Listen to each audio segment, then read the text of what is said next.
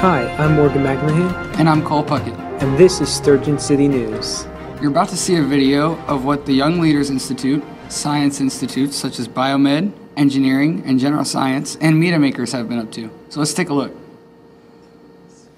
Andrew. Tyresha. So let's think about how what happened in the last game, the strategies that we applied to make it work, and what we can use going forward.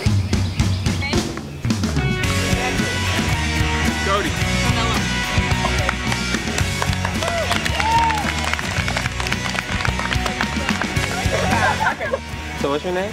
Amber Dobbins. And uh, how long have you been doing Sturgeon City? Oh wow. Um, I was in the institutes. I started in 2006, being a part of the institutes, and then when I graduated high school, um, is when I became a counselor. So I've been, I've been a counselor for about. This is my fourth year, I think. Fourth year? Yeah. Okay. And uh, what school do you go to right now? NC State. NC State?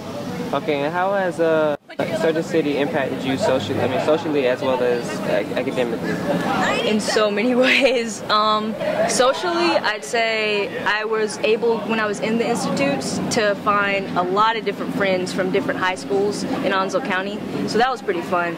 Um, and academically, it gave me another um, outlet other than being in class, you know, all day. Alright, like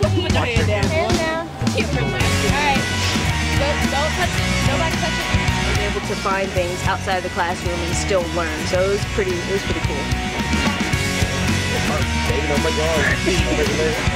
I might not get those. Come on, Dad, I got it. And what is your name? Greg Goodson, And what school do you go to? White Oak High School. White Oak High School? And uh, what year are you? I'm a rising sophomore. Okay. And uh, how long have you been doing Sturgeon City? This is my first year here.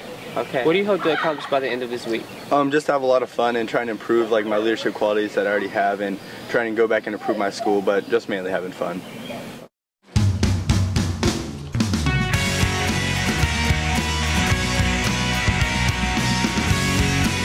What are you guys doing?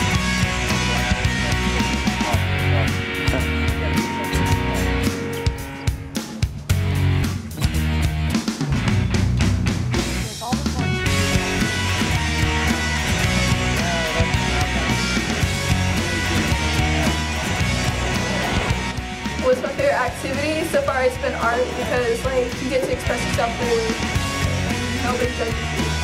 It's pretty cool. Cool.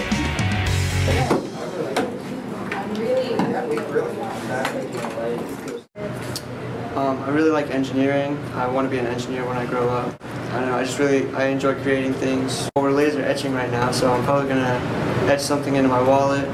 How did you hear about Sturgeon City Institutes? Uh, I was told by one of my teachers who works at Sturgeon City, uh, Mr. Thomas.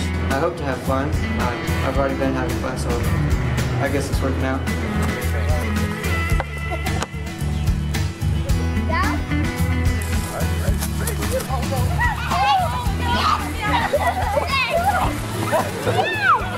I'm Ariel Christian. I did it last year and it was a lot of fun to do and I meet a lot of great people. I definitely want to canoe again. That's always my favorite thing to do throughout Sturgeon City. We get wet and we clean up trash. It's really fun. How did you hear about Sturgeon City Institutes? I started back when I was in middle school, so at Newbridge they talked about it a lot, so I decided to check it out. Like in hot lava was the best. I didn't have to walk, they just carried me across it.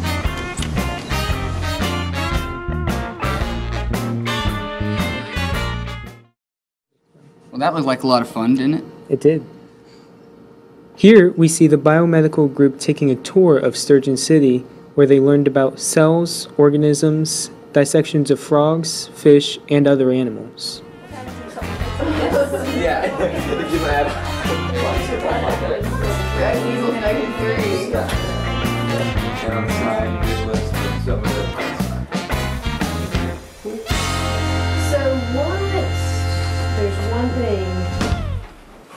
that I noticed.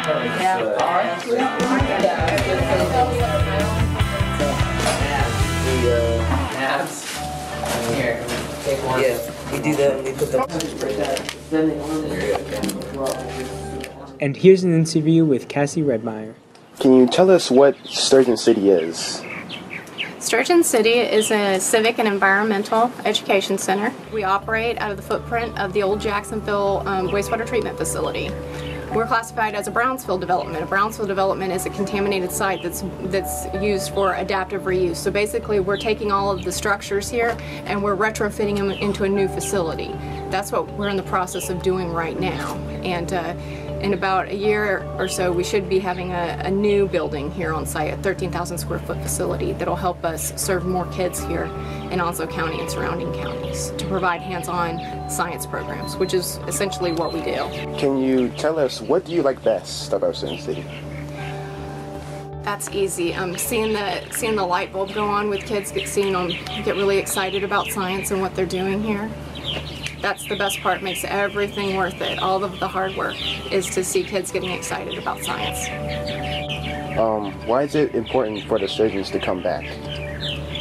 Sturgeon are bottom feeders, and uh, when the wastewater treatment facility was decommissioned in 1998, there was a huge thick layer of sludge on the bottom, and it made it impossible for bottom feeders to survive here in Wilson Bay in the New River.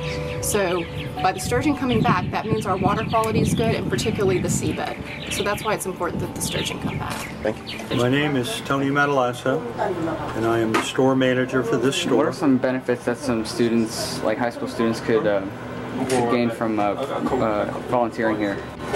Well, one of the things that you'll get uh, is um, um, for future job placement and so forth, you're learning the retail business uh, from the end uh, of different areas. So it's going to be two and two, and they're both in this room. So he wants to do.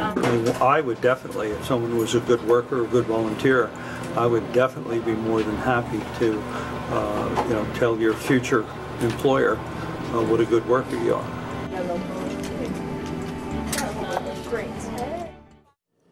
On Tuesday, the students went to the Intercoastal Waterway and the beach to conduct some experiments. Let's take a look.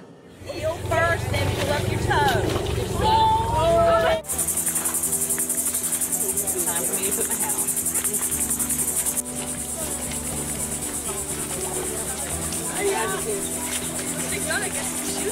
Areas is they're actually looking for bivalve, which is their favorite food source.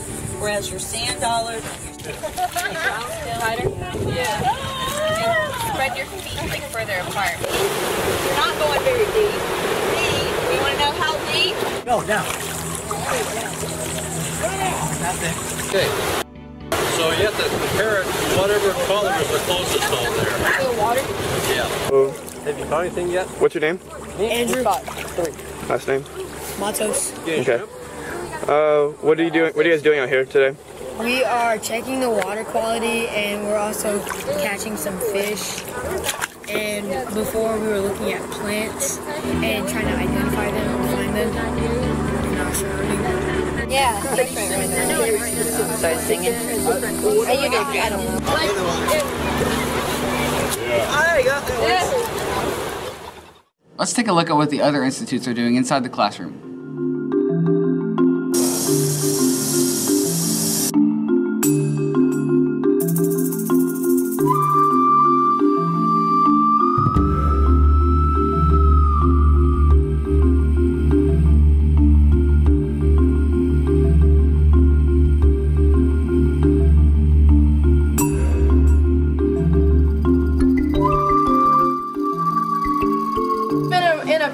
And of course it's dead. It, it's kind of firm. It feels kind of plasticky, but um, They're fake lungs, you guys. in We're the- fine. Yeah, just pretend like it's plastic.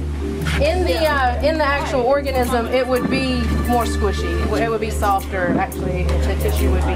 Now, notice there's a whole lot of fat and tissue kind of holding it all together. Um, around here on the other side, you have the heart. So this is called the plus pluck. Yeah, um, because it is the heart and the lungs all attached to one another. Gosh, you can't smell anything now. Yeah, I'm sorry. I can't smell anything. So when you guys kind of get started, you can um, very carefully kind of cut away the heart from the lungs, and then you have two separate things to dissect. For that's why I put this down here with all the on it. Um, as you work. So, uh, what type? What do you have?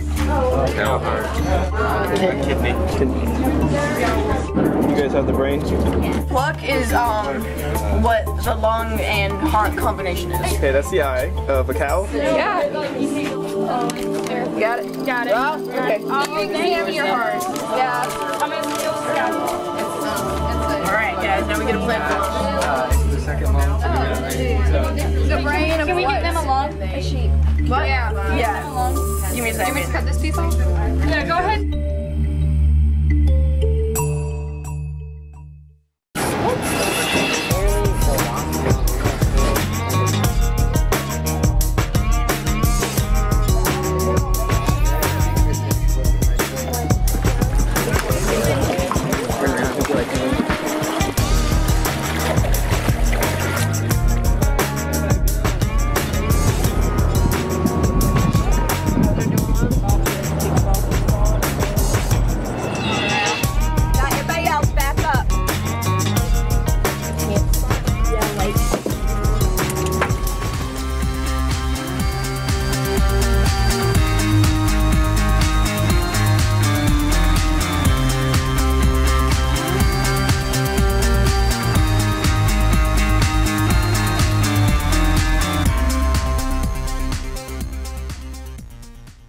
Well, that was a pretty cool look at what the institutes were doing so far this week.